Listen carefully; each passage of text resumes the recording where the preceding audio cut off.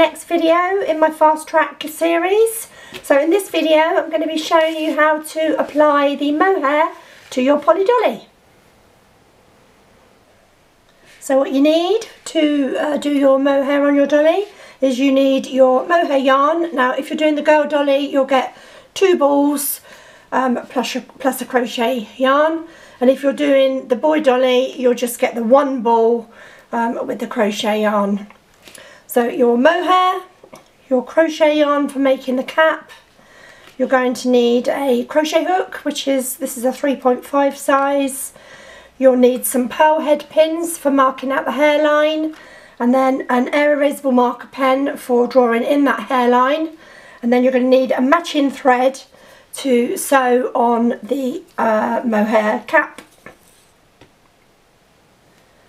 First things first, I've pinned in her hairline all the way across the front and around the back.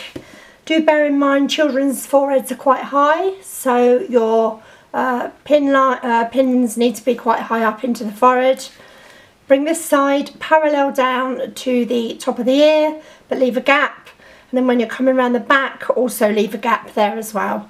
And that goes up to about one centimetre um, from the neck edge.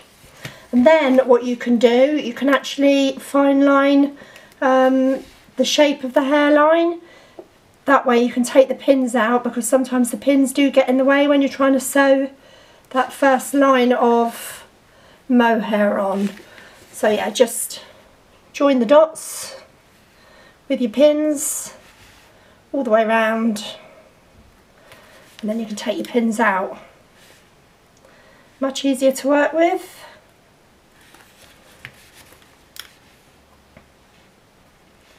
Come around the back.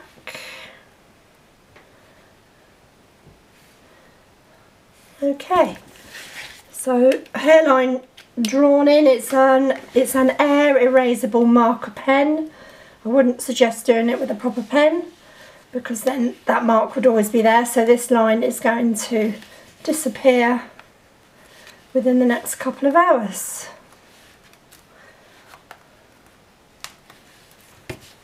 Okay, so hairline drawn in. Now on to crocheting the chain cap. So you need to measure six meters from your ball of mohair. So once you've measured out your six meters, then you need to put a safety pin in at six meters so you know where that is. Then at the beginning of the yarn leave a length about 20 centimetres or so and do your slip knot.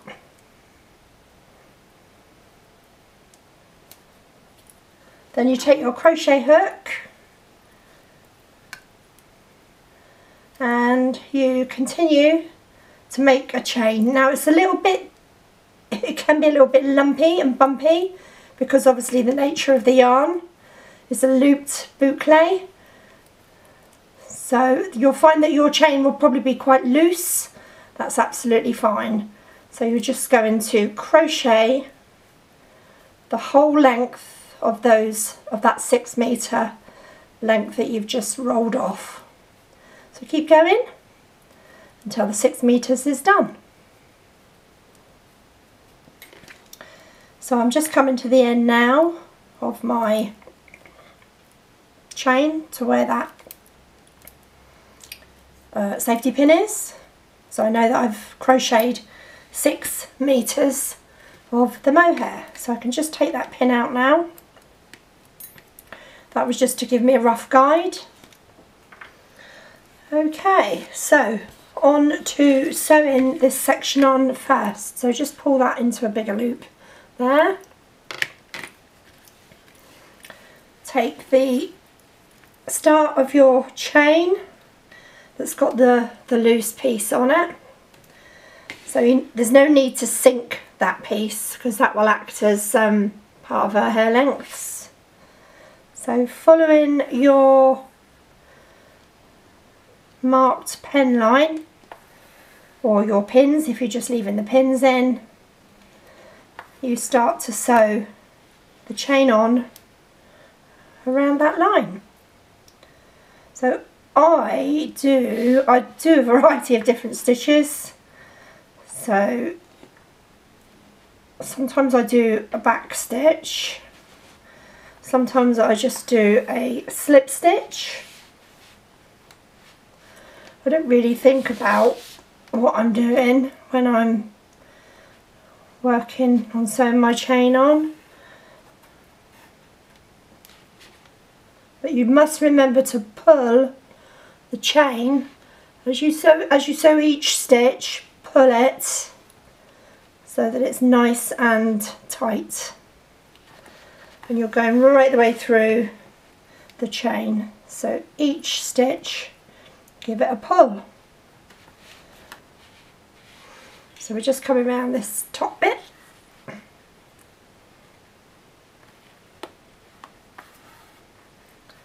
Stretch and stitch, stretch and stitch.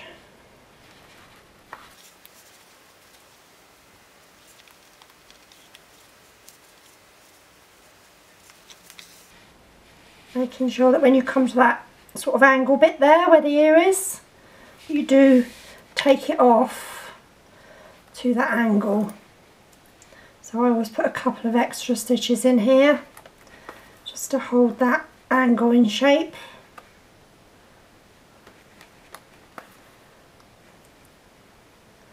Then start bringing it around the side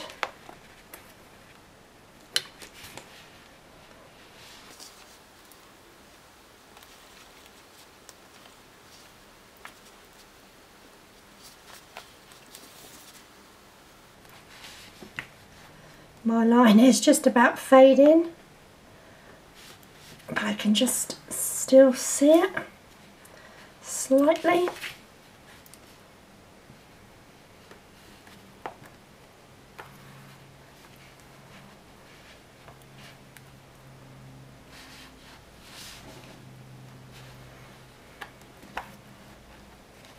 Okay, so we're coming to the starting point so we're just going to take it to that starting point.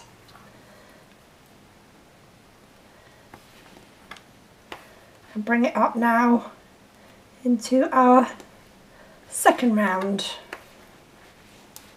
So we're putting the chain close to the first round. Stretch in and making our stitch.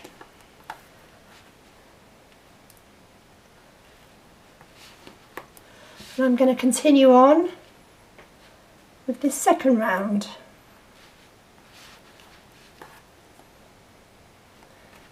So I've done my second round and I'm now going into my third round.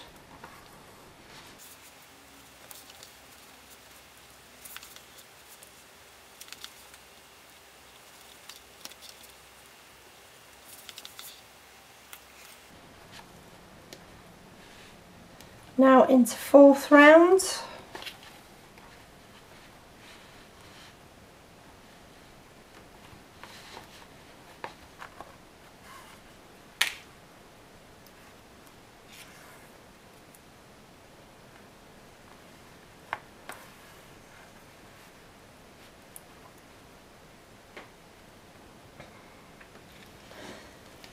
So I've come to the end of my fourth round. Now this is the last round of where the mohair chain is stopping. But what I want to do is make sure that that chain is going to go all the way round over the top of her head. And as you can see, it's not quite going down to the other side. So I know that that was a six meters that I crocheted. I just need to crochet, crochet some more so I can get that crochet chain, that fifth round, coming to at least down towards the back here, past her ear. So I'm now going to continue to re carry on crocheting some more of the looped mohair. So I've crocheted some more mohair, so I now know that that going right the way around there is going to come towards the back of her head. So that will be fifth round. So leaving her to the side there, I'm now going to continue to crochet in the crochet yarn. So I cut my looped mohair, give it about a 20 centimetre length, cut that off, don't need that one anymore. Take my crochet yarn,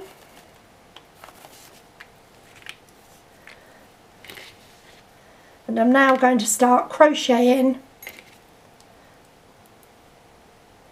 this cotton yarn instead of the looped mohair.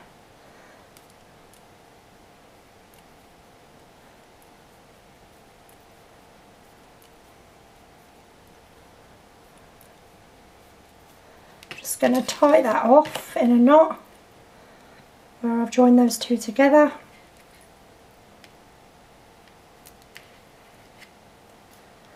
That won't slip and that will stay where it's put. Now I'm going to continue to crochet the whole ball of that crochet yarn. It's a cotton yarn so I'm just going to crochet the whole thing. Okay so we're just coming to the end of the crochet yarn. I've crocheted it all up. So if you're unsure about how to do a chain it's really easy. You just take your hook loop the thread around the hook, pull it through, loop around, pull it through, loop round, pull through. And that's all there is to making a crochet chain. So I'm just going to pull a, a large loop through, just leave that there hanging like that. So now I'll be working with this cotton yarn that leads on from the looped mohair yarn. So we will continue with that round there, which is round five. Then as it gets towards the back there, we're going to be continuing in with the cotton yarn. So i am continuing now with the cotton yarn. So when I got to the join, I sunk the tail of the crochet yarn, the cotton yarn, into the head. I split it in half because it's easier to, to thread through and I just sunk it under the head, pulled it out and snipped it off. So now I'm continuing to sew the cotton yarn on. So as I do like before, give it a stretch, little back stitch, give it a stretch, little back stitch. Make sure that you do stretch that cotton yarn because if you don't, if you don't pull it and don't stretch it, you won't have enough and you'll run out. So with each stitch that you do, make sure you give it a little pull, get it nicely stretched and then do your stitch. So I'm now going to keep on continuing to work this cotton yarn all the way around in a spiral right to the top. Okay, so we're just coming up to the end now.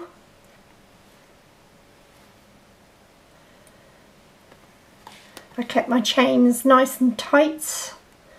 Kept my spirals nice and tight, sorry.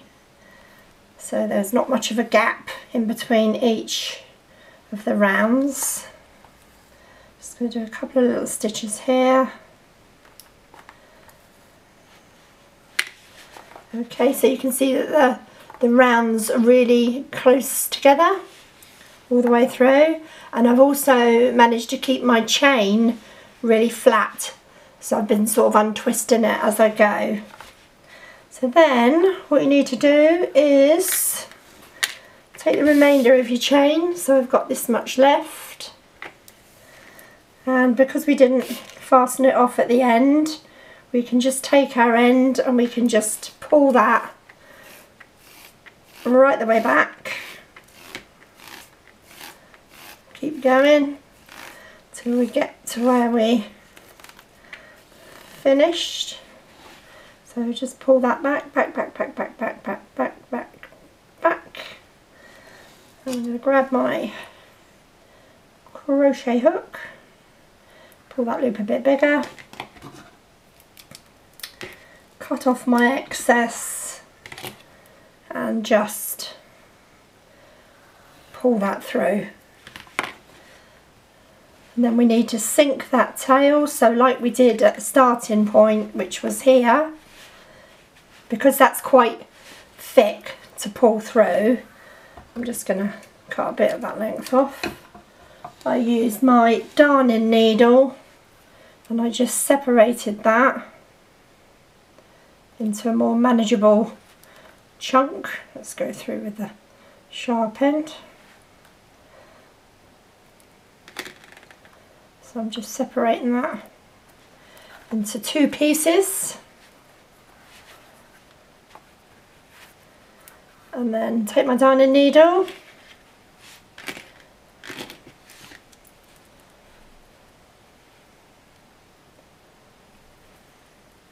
and I will just sink that into the head and out the other side.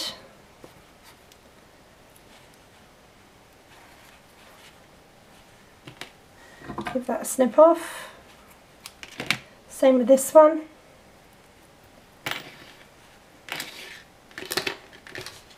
I can pick the needle up, come in. There we go. Sink that down into the head. Bring it out, give it a pull. Snip that off. And then I can now fasten off my chain.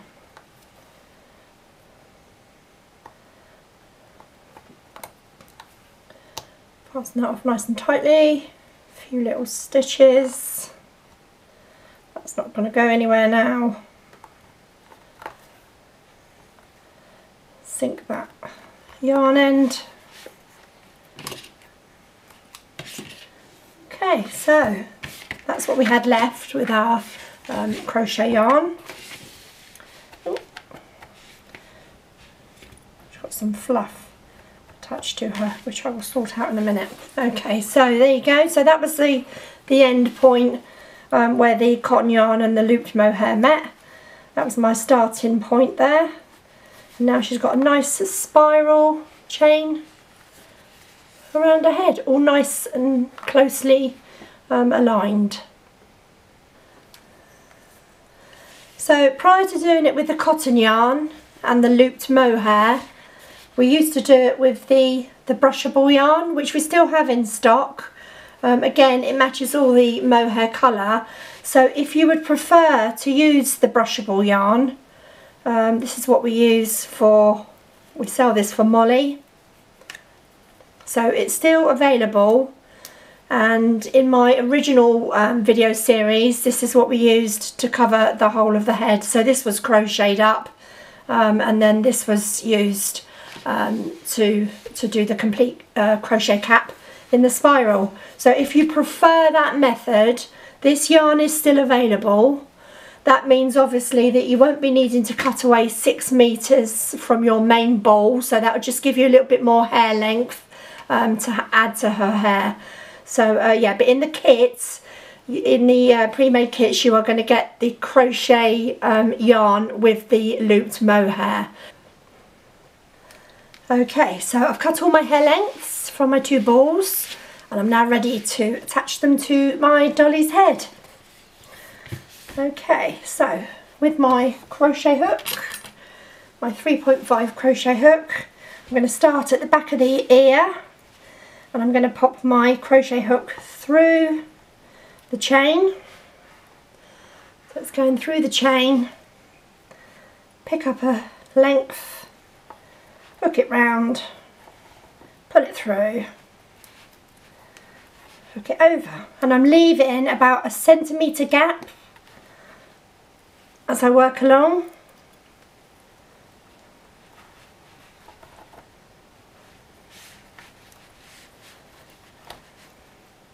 So roughly just a centimetre on this first round. And I'm going to work all the way around the complete complete bottom edge of that um, first round of chain. So that's our first round done. And already, just with that one round, um, it's looking good. So for the second round, again starting around about the ear side, I'm going into the the not going into the first chain, I'm going up a chain.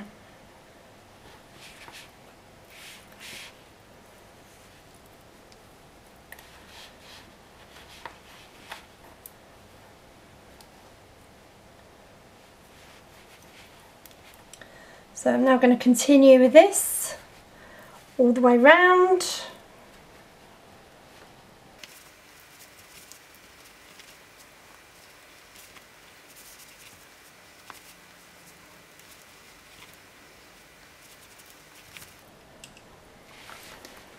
So that's two rounds done.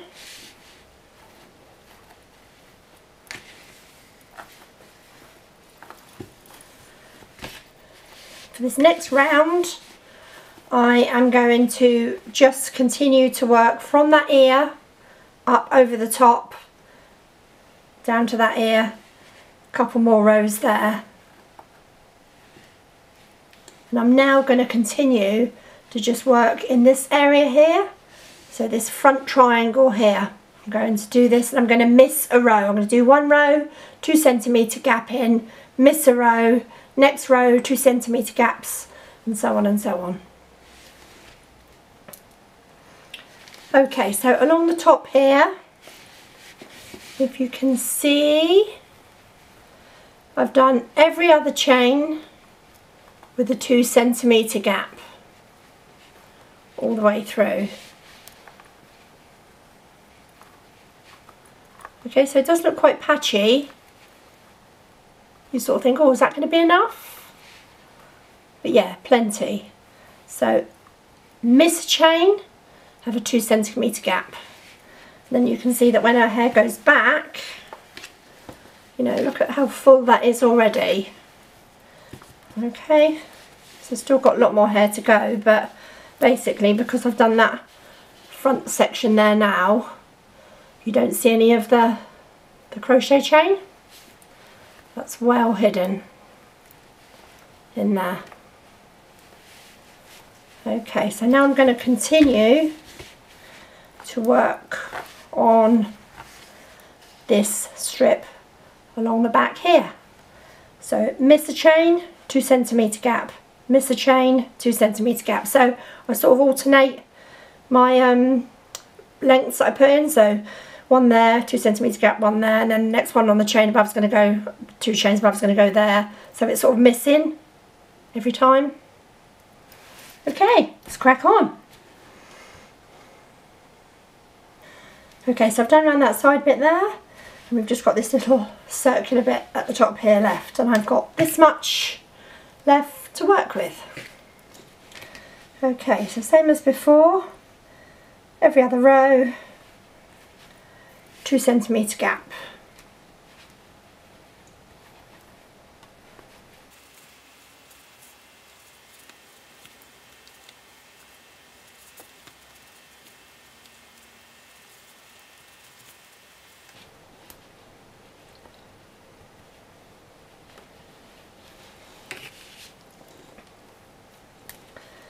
So when you've completed Okay, I've still got that much left. So, see, as you can see, she's got loads of hair. Loads and loads and loads of hair. The cotton yarn is now completely covered. Can't see that. She's got no bald patch. Completely filled.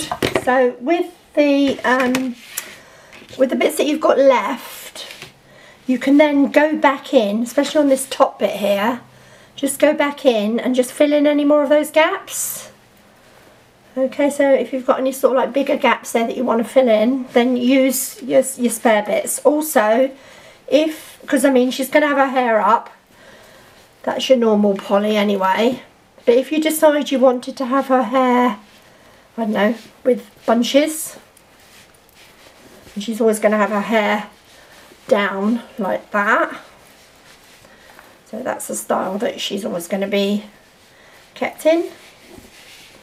With little bunches there at the sides. Then, with your leftovers, you can then start filling in this sort of area here, knowing that that's where the hair is going to be parted over. But she's having her hair up. So I'm just going to work through and just use those last bits up and fill in any of the gaps in the front there. So there she is. What a wonderful amount of hair she has. Yes, so um, making sure that you do have that two centimetre space in and you miss every other um, chain row and then you won't run out and you'll have enough to uh, do your complete Polly Dolly head. So in the next video I'm going to be showing you how to finish her off, tie up her hair, put a little bow in, add some blusher and get her dressed. Okay, thanks for watching my lovelies and I'll see you again soon. Bye!